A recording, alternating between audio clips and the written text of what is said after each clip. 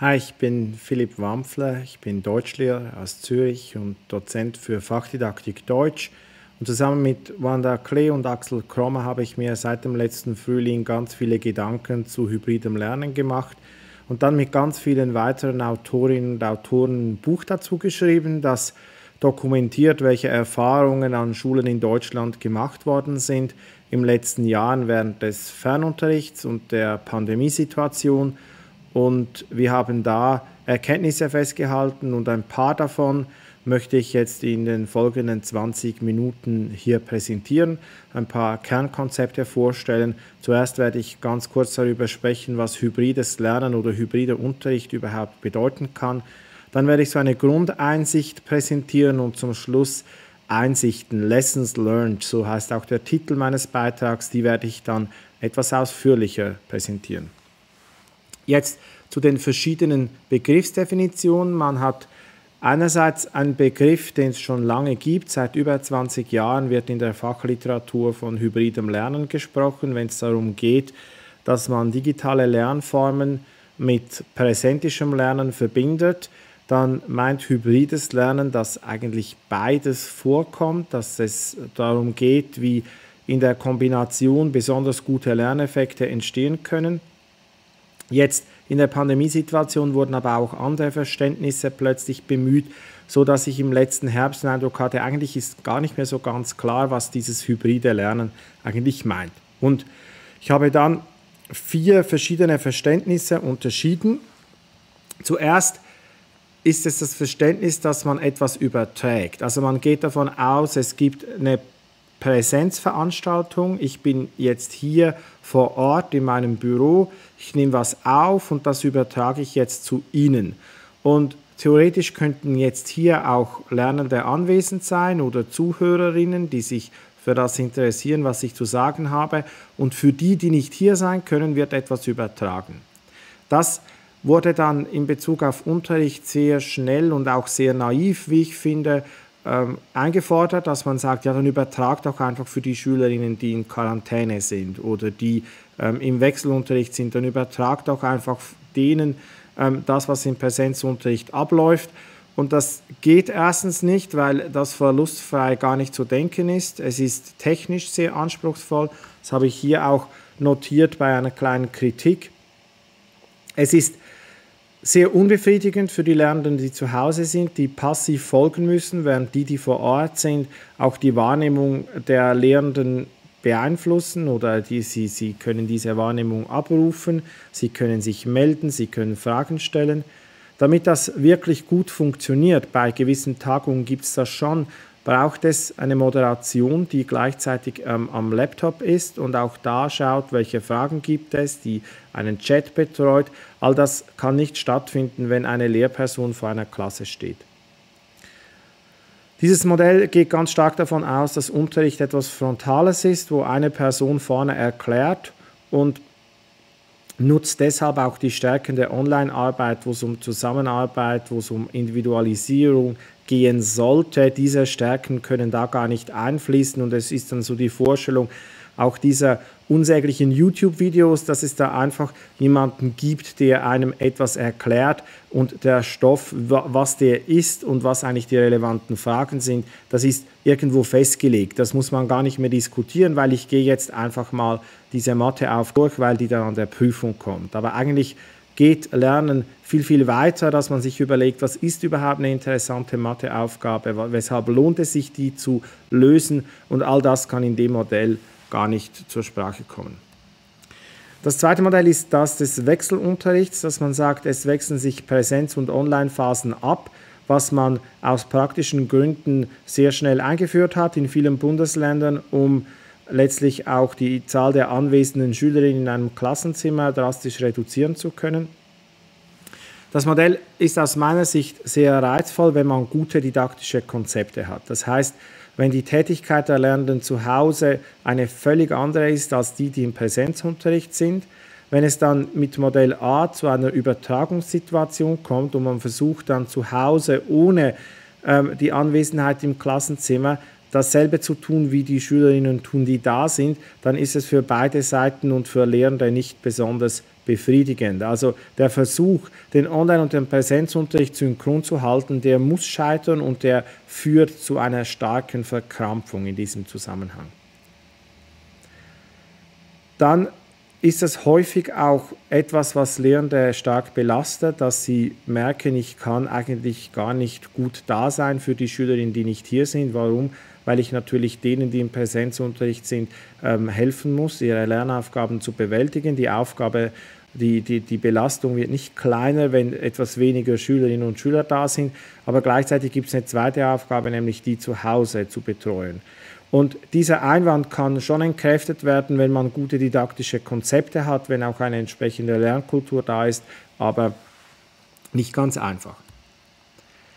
Jetzt komme ich zu der Definition, die eigentlich gemeint ist mit hybridem Lernen. Also das, was im Herbst passiert ist, war oft eine Mischung aus A oder B, dass man dann einfach statt Wechselunterricht oder Übertragung gesagt hat Hybridunterricht, obwohl das gar nicht Hybridunterricht im eigentlichen Sinne ist.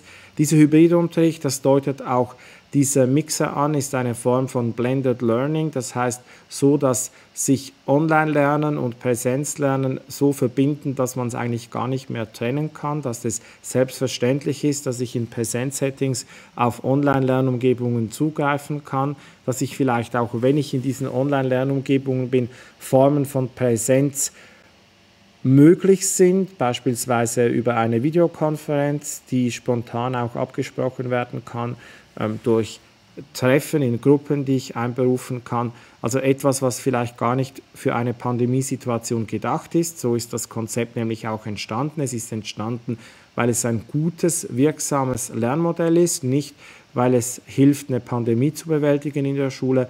Und entsprechend hat es auch gewisse Voraussetzungen, nämlich dass Schülerinnen gut ausgestattet sind, dass es digitale Werkzeuge gibt, die eine Schule verwenden kann, dass es eine entsprechende Lernkultur gibt, die auf das ausgerichtet ist, dass es Online-Lernen, dass es was Wichtiges, was Sinnvolles ist und nicht einfach so etwas wie ein Zusatz für den ohnehin stattfindenden Präsenzunterricht. Und die Gestaltung der Präsenzphasen wird massiv verändert, wenn es diesen Hybridunterricht in einem Blended Learning Setting gibt. Klassischerweise geht man davon aus, dass alle Instruktion eigentlich ins Netz verlagert wird. Also Schülerinnen recherchieren selbstständig oder erhalten vielleicht kleine Lehrvideos. Aber im Präsenzunterricht gibt es keine Instruktion mehr, sondern da gibt es Coaching, da gibt es Diskussionen, da gibt es Arbeit an Übungen und das verändert natürlich die Vorstellung von Unterricht und von Schule ganz, ganz stark, sodass man eigentlich sagen muss, es braucht gar nicht mehr so viel Präsenz. Man könnte dann auch ganz bewusst Präsenzphasen reduzieren zugunsten von hybriden Arbeitsphasen, von blended Arbeitsphasen, die ähm, vielleicht an einer Schule stattfinden, aber nicht im Sinne von klassischem Unterricht. Zuletzt muss man sagen, dass Hybridunterricht oft ein Notfallwort gewesen ist, mit dem politisch Verantwortliche das, was da gelaufen ist, ähm, besser haben aussehen lassen, als es eigentlich ist. Also man hat dann, wenn man sagt, ja, wir haben jetzt ein Notfallkonzept, wir wursteln uns irgendwie durch, weil wir nicht wollen, dass die Schule ausfällt oder dass der Eindruck entsteht, es würde weniger Unterricht stattfinden und dann sagen wir dem irgendwie schlau und dann dieser Begriff war dann Hybridunterricht. Es ist nicht verwerflich, Notfallkonzepte entwerfen zu müssen, wenn es eine Pandemie gibt. Das ist für alle von uns eine Situation, die wir seit über einem Jahr kennen. Wir können nicht so handeln und so leben, wie wir es gerne würden. Wir sind eingeschränkt und das betrifft Schulen ganz, ganz stark. Aber wir müssen das auch nicht beschönigen. Also wenn wir Notfallunterricht durchführen, dann sollten wir dem vielleicht auch Notfallunterricht sagen und nicht einen Begriff aus dem Hut zaubern, der dann da ähm, schöne Farbe drüber tüncht, die darunter ist, aber der Rost und ähm, ja, vielleicht das abblätternde Holz immer noch zu sehen. Vielleicht muss man dazu, also der untere Punkt, den habe ich schon erwähnt, und der obere Punkt ist vielleicht, dass man bei Konzepten etwas aufpassen muss, dass man nicht zu stark ähm, Entwicklungen auch dadurch hemmt, dass man lange an Konzepten arbeitet. Das ist gerade im Umgang mit Medien und mit der Finanzierung von Ausstattungen an Schulen in Deutschland die Vorstellung, zuerst muss die Schule ein Konzept haben, bevor sie überhaupt Mittel abrufen darf. Das ist eine sehr problematische Vorstellung. Zuerst müsste die Schule diese Mittel abrufen können, um auszuprobieren, was funktioniert. Und das sollte sie dann transparent dokumentieren. Das wäre der richtige Weg. Also in der Zukunft und auch mit Vorstellungen von zeitgemäßer Entwicklung von Organisationen geht es darum, Erfahrungen zu machen, die Erfahrungen zu dokumentieren, zu reflektieren und nicht zuerst in Konzepten einzuschränken, welche Erfahrungen überhaupt machbar sind oder gemacht werden sollen und eigentlich wie voraussehen zu müssen, wie die Umsetzung eines Konzeptes abläuft.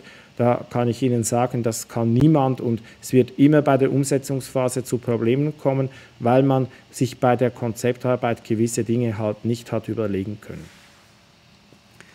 Deshalb sehr pointiert gesagt, wenn jemand ein Konzept schreibt, zu einer anstehenden Veränderung, dann bedeutet das eigentlich in der Wahrheit, dass diese Veränderung gar nicht gewünscht ist. Weil wenn die Veränderung wirklich gewollt wäre, dann würde man sie anpacken und umsetzen und nicht erst ein Konzept schreiben. Damit komme ich zu dem kleinen Exkurs, was die Grundlage von Lernkultur ist, weil das dann auch für die Best Practice ein wichtiger Aspekt ist. Die Grundlage von Lernkultur ist nach Jöran Mus-Mehrholz, der das mal bei einem Besuch von Schülerinnen und Schülern festgehalten hat. Diese Grundlage ist Arbeit. Arbeit Arbeiten ist das, was Schülerinnen und Schüler zu ihrer Tätigkeit sagen, wenn es eine gute Lernkultur ist. Sie sprechen über ihr Lernen und über ihre Aktivität, so dass sie sagen, wir haben daran gearbeitet oder wir möchten weiterarbeiten. Lehrende sagen dann, jetzt arbeitet weiter an diesen und diesen Aufgaben. Und das zeigt, dass äh, niemand beschäftigt wird, sondern dass es eine sinnvolle Tätigkeit gibt, die vorangetrieben wird durch Lernaktivität dass nicht, wenn jemand ein Arbeitsblatt ausfüllt oder eine Aufgabe löst, die den Sinn man nicht sieht, dann sagt man selten dazu, dass es Arbeit ist, sondern findet man andere Begrifflichkeiten. Arbeit bedeutet, dass es so einen Sense of Purpose, wie man auf Englisch sagt, gibt. Das scheint mir hier ganz wichtig zu sein. Vier Merkmale dieses Arbeitsverständnisses. Erstens, es geht um asynchrone Prozesse, also so, woran ich arbeite, das muss nicht dasselbe sein, woran meine Nachbarinnen und Nachbarn arbeitet und wir müssen auch nicht unbedingt zur gleichen Zeit im gleichen Raum daran arbeiten, sondern wir können uns lösen, wir können eigene Zeitpläne entwerfen und im eigenen Tempo diese Lernerfahrungen auch durchführen oder diese Arbeitsschritte durchführen. Zweitens führt Arbeit zu Lernprodukten. Ich arbeite nicht an etwas, ohne dass ähm, etwas entsteht dabei. Und diese Lernprodukte, das ist der Fokus dessen, was man in der Schule tut. Also kann auch sagen, wenn die Lernkultur auf Arbeit basiert, dann kann man auch sagen, welche Lernprodukte Schülerinnen und Schüler herstellen. Und Lernprodukte müssen etwas mehr sein als einfach ein Heft, das Sie von einer Tafel abschreiben. Das muss etwas Eigenständiges sein, etwas, was für Sie auch persönlich einen Wert hat, worauf Sie stolz sind, wo Sie zeigen können, was Sie gelernt haben. Das ähm, ist so eine Grundeinsicht zu diesem Arbeiten. Drittens braucht Arbeit keine Bewertung. Wer arbeitet, ähm, zum Beispiel Lohnarbeit macht oder Care-Arbeit macht zu Hause, wird nicht benotet dafür, sondern zunächst einmal ist allen klar, also wenn ich für eine Familie koche, dann wissen, weiß ich, ob das der Familie geschmeckt hat, ich kriege Feedback dazu, aber ich kriege keine Benotung, weil das gar nicht nötig ist. Und wenn jemand sagt, ja, ich finde jetzt das Essen, das war ein bisschen zu fettig, könntest du nächstes Mal ein bisschen weniger Olivenöl, das würde mir besser schmecken oder ich habe dann immer so Verdauungsprobleme, wenn das so fettig war, bitte koch das doch ein bisschen anders, dann kann ich das Feedback auch berücksichtigen, ich kann es annehmen, ich kann damit umgehen. Und genauso ist das bei Arbeit gedacht. Ich gebe Hinweise, wie die Arbeit besser ablaufen könnte. Ich gebe als Lehrperson auch meine Einschätzung dieser Arbeit zurück. Ich weise auf ähm, problematische Aspekte hin, aber eine Bewertung ist gar nicht nötig. Es braucht ein Gespräch darüber. Und der letzte Punkt, Arbeit erfolgt postdigital. Das ist ein Wort, das ähm, etwas Konjunktur hat und das vielleicht nicht ganz verständlich ist. Postdigital heißt, Digitalität ist nicht im Vordergrund. Es wird nicht darüber gesprochen, dass man jetzt etwas mit digitalen Medien oder ohne digitalen Medien macht oder mit welchen Tools man etwas macht, sondern es ist einfach klar, du kannst Open Media arbeiten. Benutze all die Medien dazu, die du benutzen möchtest. Und es ist ganz klar, dass wenn jemand sagt, meine Arbeit besteht jetzt darin, ich möchte selber meinen eigenen Stuhl machen aus Holz, dann wird es dabei Arbeitsschritte geben, bei denen es sehr sinnvoll ist, digitale Medien zu benutzen und es wird andere geben, bei denen es völlig sinnlos ist, ähm, digitale Medien zu nutzen. Also wenn man da Lauge auftragen muss auf, auf das Holz oder sowas, dann wird das nicht sein, wo man das Handy oder ein Tablet oder sowas benutzen wird. Wenn man aber Designs durchführt und vielleicht den Stuhl erstmal zeichnet, dann wird das sicher sinnvoll sein, das auf einem Tablet mit einem digitalen Stift zu tun und nicht auf Papier mit Bleistift.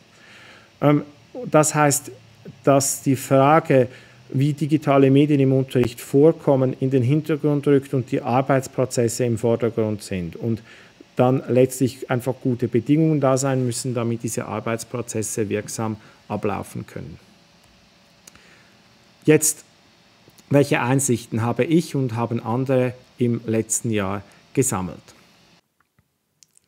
Aus den bisherigen Überlegungen sollte klar geworden sein, wie wichtig Lernkultur in dieser Konzeption des hybriden Lernens ist.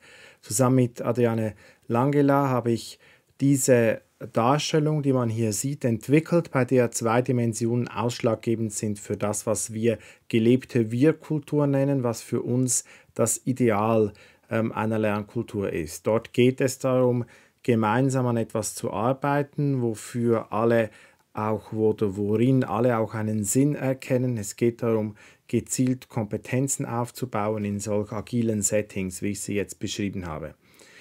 Diese Wirkultur zeichnet sich dadurch aus, dass asynchron gearbeitet wird und dass viel Vertrauen und viel Selbststeuerung bei den Lernenden vorhanden ist. Das Gegenbild wäre die totale Kontrolle, wo kein Vertrauen vorhanden ist, sondern wo wirklich alles kontrolliert werden muss und damit das möglich ist, ist ein hoher Anteil an synchroner Lernformen möglich, damit Lehrende auch tatsächlich zuschauen können, wenn Lernende lernen, damit da keine Fehler passieren. Und von dieser Lernkultur müsste jetzt der Schritt bei guten hybriden Settings nach rechts oben gehen, also von links unten nach rechts oben in dieser Darstellung. Wie das gelingen könnte, dazu habe ich eine kleine Checkliste gemacht. Die Checkliste fragt, geht es eher darum, die Lernenden zu beschäftigen, also dass man so den Tag durchbringt oder eine Lektion oder eine Stunde, dass man sagen kann, ja, jetzt haben die was gemacht, wir haben was durchgenommen, oder geht es darum, wirklich an etwas zu arbeiten, wo auch diese Lernenden merken, das hat für mich eine Bedeutung. Ist das Ergebnis offen oder ist es festgelegt? Gibt es Freiräume, um diese Ergebnisse zu erreichen? Oder müssen die Lernenden überwacht werden? Kontrolle und Vertrauen habe ich schon erwähnt. Dann ähm, auch das Feedback ist bei der Arbeit schon vorgekommen. Also geht es darum, lernen die Lernenden, weil sie eine Note bekommen oder möchten sie gerne Feedback von kompetenten Personen auf ihre Arbeit bekommen, damit sie sich weiterentwickeln können. Geht es darum, Beteiligung und Partizipation zu erlauben oder sind Lernende eigentlich passiv? Ist es fast besser, wenn sie sehr passiv sind? Wie wichtig ist es, dass sie sich beteiligen können? Das ist dann in hybriden Settings auch der entscheidende Punkt. Also wenn ich eine Lehrveranstaltung so anbiete oder eine Stunde, dass zu Hause man die Kamera und das Mikro ausmachen kann und irgendwie geht die Stunde auch vorbei, wenn ich nichts sage, wenn ich nichts tue, es geht auch ohne mich, dann ist das ein Erlebnis für die Lernenden, das sich einbrennt und das ist auch ein gefährliches Erlebnis in einer Präsenzstunde, wenn nicht ähm, das, was Lernende tun, einen Einfluss darauf hat, wie die Stunde verläuft. Also nehmen Sie diese vorgefertigten Tafelbilder, das ist was ganz, ganz Schreckliches didaktisch, wo dann eine Lehrperson eigentlich das, was in einem Ordner steht in einem Heft steht, irgendwie auf die Tafel zeichnet und das, was die Klasse dabei tut, was sie diskutiert, das spielt gar keine Rolle, weil er schon feststeht, wie das Tafelbild aussehen muss. Das Gegenteil wäre hier wichtig, es wäre wichtig, dass die Lernenden selbst an die Tafel schreiben und am Schluss das dasteht, was Sie denken. Das wäre in einem hybriden Setting das, was gut funktioniert. McCandless und Lipmanowitz haben mit ihrem Konzept der Liberating Structures das auf den Punkt gebracht, worum es hier geht. Das, was ich jetzt erklärt habe, kann man hier gut zeigen. Es geht eigentlich darum, dass die Verantwortung für die Inhalte, das ist die vertikale Dimension, und die Verantwortung für die Methoden und Handlungen, die horizontale, Entschuldigung, das ist jetzt die vertikale, das andere war die horizontale Dimension, dass diese Verantwortung auf möglichst vielen Schultern verteilt wird, also eigentlich auf der ganzen Lerngruppe. Das ist dann dieser lila Punkt oben rechts wiederum. Und das, was ich jetzt mache, einfach zu Ihnen sprechen über ein Video, das wäre unten links und das, davon müsste man in guten Unterrichtssequenzen wegkommen, ähm, hin dazu, dass ähm, auch Verantwortung da ist. Man spricht bei verantwortungsgemäßen Unterrichtsgesprächen von Accountable Talk. Also müsste es eigentlich sowas wie Accountable Learning sein, dass die Lernenden auch wirklich verantwortlich sind für das, was geschieht, für die Inhalte des Lernens und für die Methoden des Lernens. Ein Beispiel, wie das geschieht, ist bei ähm, diesen Liberating Structures werden Strukturen vorgegeben. Also ich gebe beispielsweise ein Problem und dann können alle eine Minute über das Problem nachdenken, sich zwei Minuten dazu austauschen, zu viert einen Vorschlag für eine Lösung erarbeiten und diesen Vorschlag dann der Klasse vorstellen oder der Lerngruppe. Das ist One, Two, For All. Manchmal sagt man auch Think alleine, also denken. Pair zu zweit austauschen und dann Share in einer Gruppe oder im ganzen Plenum ähm, mitteilen, was man diskutiert hat. Und hier ist klar, dass ähm, die Lernenden ganz stark beteiligt sind. Ähm, hier an der Methode vielleicht nicht besonders, aber sie sind daran beteiligt, ähm, an dem, was dann später diskutiert wird in der Stunde. Und wenn man jetzt ein Tafelbild zu so einer One-to-For-All-Stunde gestalten würde, dann ist klar, ich kann keinen Satz vor, vorhersehen, der dann kommt, sondern das kommt alles von den Lernenden. Das kann man dann mit agiler Didaktik so verbinden, dass man sagt, agile Didaktik, das bedeutet, dass ich Methoden immer wieder erprobe, neu erfinde, auf die Voraussetzungen der Lernenden, der Situation abstimme. Und wenn ich so in hybride Lernsituationen gehe, dann kann ich zusammen mit Lerngruppen herausfinden, was funktioniert, wo ich Lernerfolge erzielen kann mit einer Gruppe, was problematisch ist, was das Lernen stört, behindert. Und weil ich immer dabei bin, Methoden zu entwickeln und über die Methoden, die ich einsetze, nachzudenken, ist es ganz automatisch, dass da was Gutes entsteht und was ähm, in der Situation gemäß ist. Dafür braucht es aber auch die Bereitschaft, Lehrmittel so herzustellen, dass sie in einer Situation sehr schnell entstehen können. Also wenn ich mit einer Lerngruppe darüber nachdenke, was ihre Bedürfnisse sind, dann könnte es sein, dass sie sagen, ja, wir hätten jetzt gerne noch mal ein kurzes Video, in dem sie uns zeigen, wie man die und die Aufgaben löst.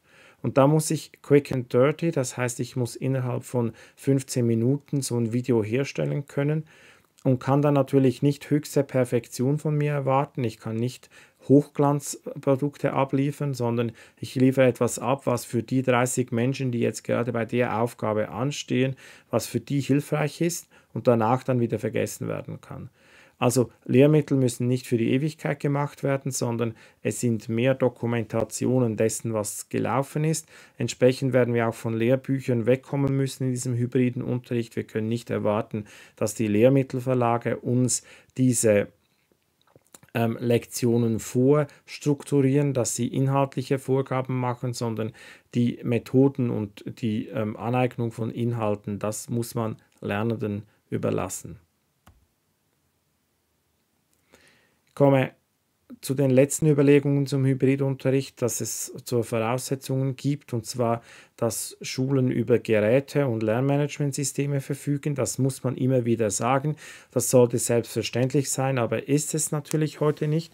Und wenn man dann ähm, in so Notfallsituationen kommt, wenn man wie sagt, das geht jetzt bei uns noch nicht, weil Software oder Hardware fehlt, dann muss man sich auch nicht den Kopf machen, weil das völlig selbstverständlich ist, dass es nur geht, wenn die Voraussetzungen da sind.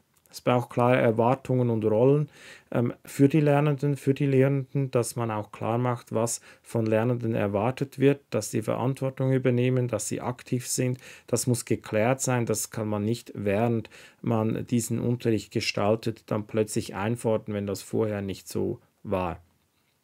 Man muss an Lernende und Lehrende denken, an Lernende denken und sich überlegen, wie sieht Ihr Tag, wie sieht Ihre Woche aus, was sind Aktivitäten, die für Sie passen, die Ihren Bedürfnissen entsprechen und gleichzeitig dafür Lehrende das, was sie machen müssen, keine Überforderung sein. Es kann nicht sein, dass sie immer mehr, mehr, mehr machen müssen.